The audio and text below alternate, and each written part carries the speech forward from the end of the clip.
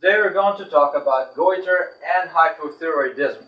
So goiter is the enlargement of the thyroid gland according to the uh, unstable activity of the gland and hypothyroidism is the suppression of the thyroid gland or the decrease in the volume of the thyroid gland also according to the um, unstable activities of the gland. So first of all the goiter has two types.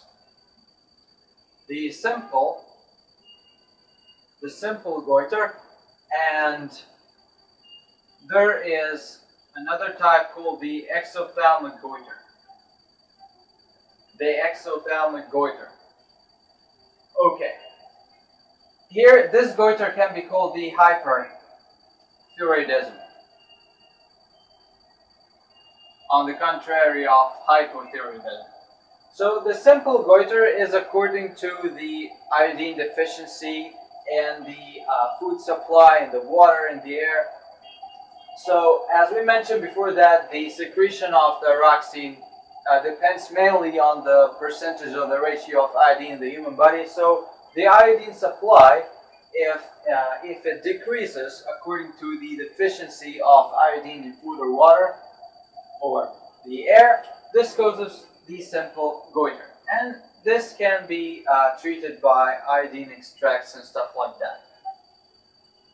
The second type, which is the exophthalmic goiter, and um, this um, is more apparent than the simple goiter, and it's related to the uh, protrusion of eyeballs. So um, it's uh, pretty much obvious than the simple goiter. Um, in this one, when the iodine deficiency increases very much, uh, the thyroid gland enlarges and accordingly the uh, thyroxine excretion or the thyroxine production increases. And as we mentioned, that thyroxine controls the basal metabolic rate and the absorption of carbohydrates or glucose from the intestines.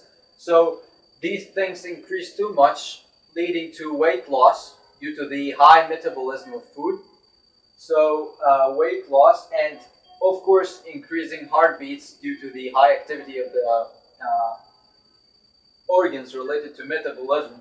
So the heart rate increases and uh, neuroirritability.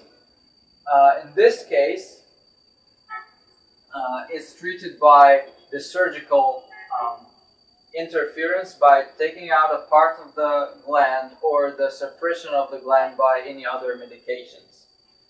So this is the goiter. Now the hypothyroidism. The hypothyroidism, we said, is the decrease in the volume of the thyroid gland, and uh, this occurs in uh, childhood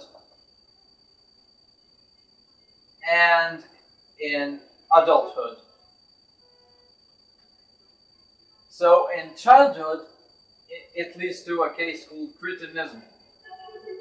So in cretinism, uh, the um, thyroid gland suppresses, and this leads to um, a lower metabolic rate, of course, and um, this affects greatly the growth of the child, leading to the presence of a large head, a short stature, and um, late sexual maturity, and a very long delay in physical and mental growth.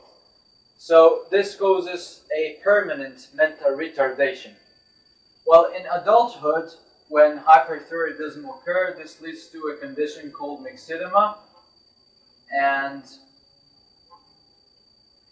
in myxedema, as the thyroid gland suppresses or uh, decreases in volume, of course, this affects the production of the thyroxine, so the, the production decreases, and accordingly, the metabolic rate decreases very much. No carbohydrates are absorbed from the intestines, accordingly, the human or the patient uh, gains more weight, and this leads to obesity. This leads to decreasing the heart rate and uh, rapid fatigability so that whatever activity or exercise the patient carries on, he gets um, tired from, even if it was a simple activity. And uh, this is also accompanied by hair loss and stuff like that. This is treated by the um, prescription of thyroid gland extracts in order to um, replace the decrease or the loss of thyroxine production in the human body. So these were the types of goiter and hypothyroidism. The next time we will talk about the parathyroid glands and these are associated glands to the thyroid gland. Until then, I thank you for watching and see you.